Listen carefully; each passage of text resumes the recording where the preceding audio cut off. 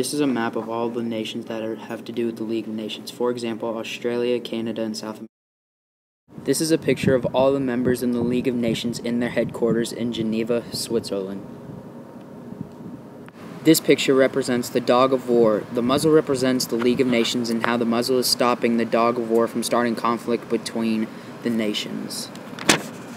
This is a picture of most of the leaders of their nations. They had just came out of a meeting in their This headquarters. is an angel blessing the League of Nations for all the good they have done for their nations by stopping conflict and war between the countries.